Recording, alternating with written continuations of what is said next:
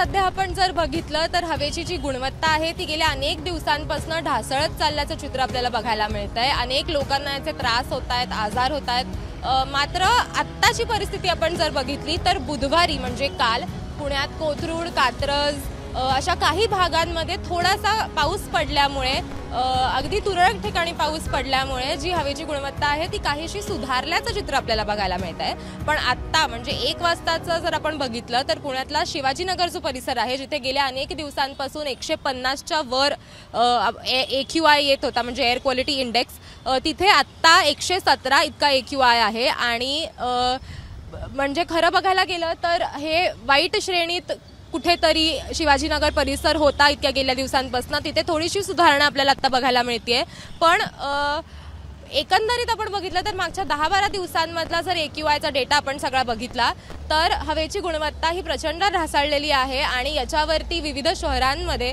तिथलं तिथलं प्रशासन जे आहे त्यांच्याकडनं उपाययोजना करण्यात येत आहेत.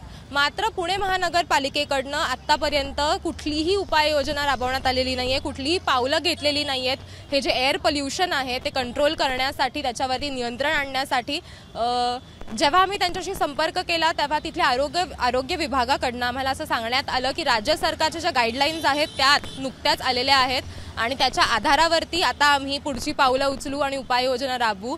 मात्र आता दिवाळीचा सणही लवकर आलेला आहे.